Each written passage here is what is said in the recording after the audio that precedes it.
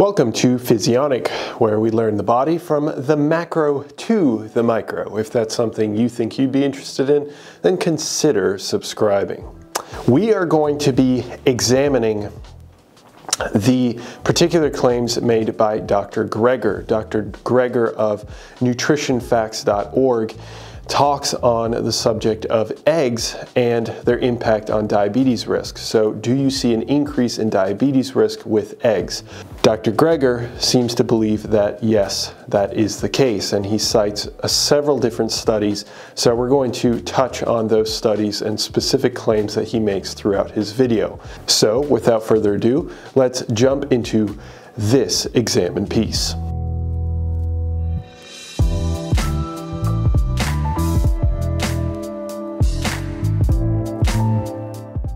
So there are two primary points that Dr. Greger makes, and he looks at a few different studies which he conveniently did not link for his audience to investigate themselves, but he did have the titles kind of blurred out in the background, so I was able to figure out which studies he was referencing.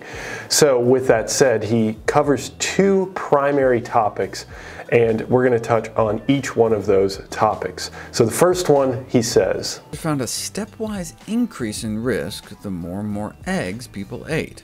Eating just a single egg a week appeared to increase the odds of diabetes by 76%. Two eggs a week appeared to double the odds, and just a single egg a day triple the odds. Three times greater risk of type 2 diabetes, one of the leading causes of death and amputations, blindness, and kidney failure. So his first primary point is based on the first study that he looks at, which shows a table which shows a 76% increase with the consumption of 1 to 1.9 eggs per week. Now, that table is taking into consideration a bunch of different factors like BMI, family history of diabetes, education, smoking, things of that nature. But what's odd, and this is a small point, but it's still important. Uh, what's odd is he ignores the most adjusted formula. So he uses an adjusted formula, but he doesn't use the most adjusted formula. And the most adjusted formula actually reduces that risk to 73% increase. I realize that I'm nitpicking here, but technically, you would want to go with the most accurate formula that you can. And in that situation, the most accurate formula takes into consideration the BMI, the smoking, the education, all the things that he had in his formula, but it takes into consideration exercise as well, or physical activity, as well as triacylglycerol levels in the bloodstream, so fat levels in the blood.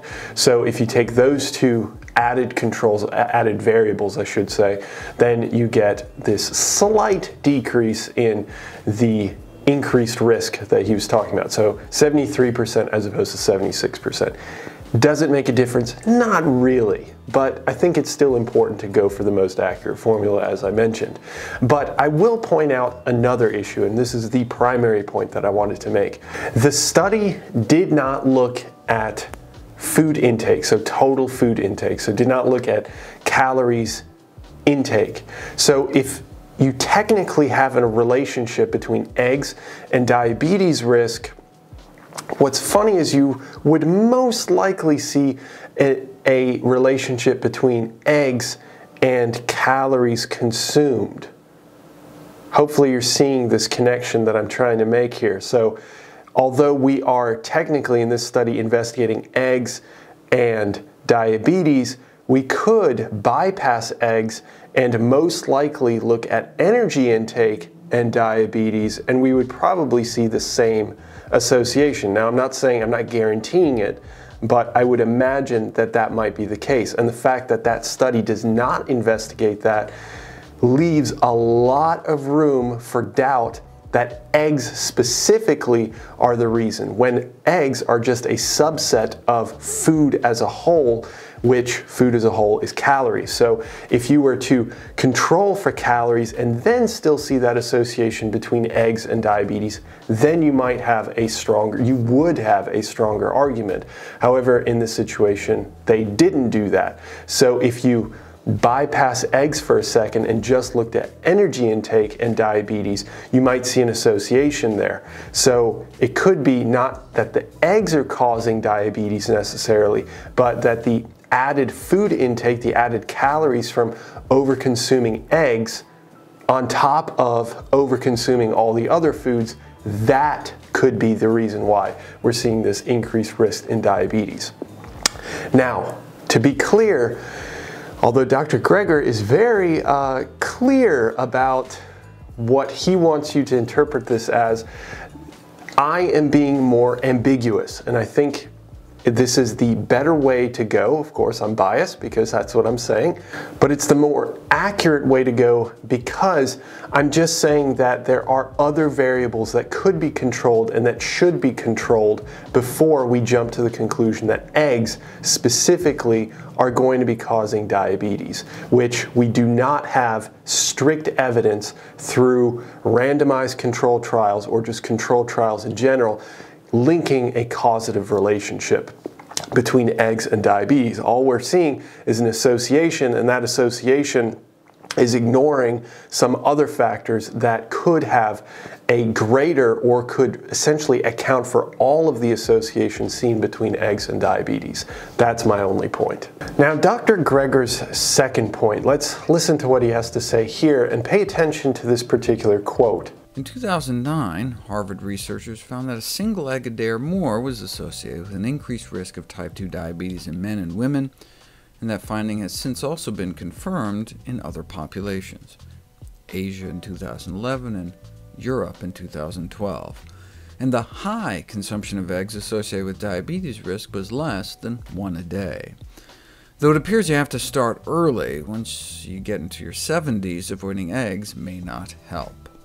So the quote that I found really interesting is he says, once you get into your 70s, avoiding eggs may not help. So he's essentially making the assertion that if you avoid eggs once you're into your 70s that it's not going to help your health, and especially in this case, talking about diabetes.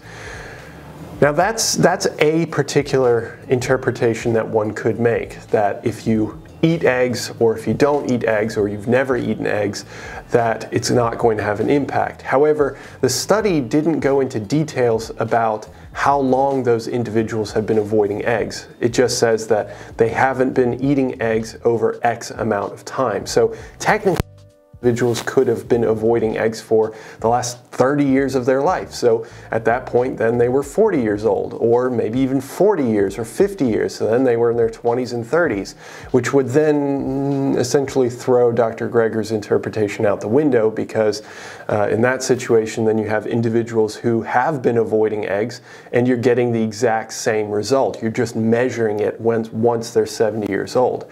Now, with that assertion, he also is saying essentially that these individuals were in a pathological state. But if you look at the studies, if you actually go out of your way to find the studies yourself, which I'll have those linked, uh, if you look at the studies, you can look at their blood glucose levels. And what you'll find is that they were in a non pathological state. So, what's the point? Why are we even discussing this at this point? If you have if you avoid eggs or if you don't avoid eggs, but your blood glucose levels are normal, they're 99 and 100 milligrams per deciliter, which is acceptable for a person who's in their 70s, uh, then we have nothing else to talk about. Uh, it really doesn't matter at this point. So the assertion that once you hit your 70s that avoiding eggs isn't going to help, help what? You have nothing to help. You're perfectly healthy already, so it doesn't even matter anymore. Uh, so it's still in the physiological range. So again, it just goes to show that Dr. Greger is pointing out particular uh, interpretations, possible interpretations, and then people are just taking that and running with it and just assuming that that's correct. When in reality, there are at least other interpretations, and in some cases, he's just dead wrong.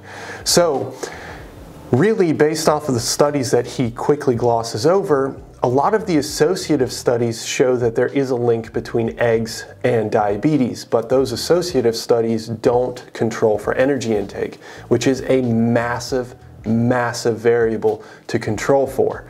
Now, another point is that in some of those studies, they also did have randomized control trials in which individuals controlled all the other variables, including energy intake, but then consumed different levels of eggs. So let's say one egg, two eggs, three eggs over a week.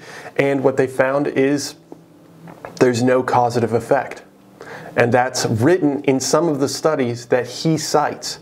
So you need to do a bit more research. You need to read into what he's interpreting and understand that his interpretation may be completely wrong.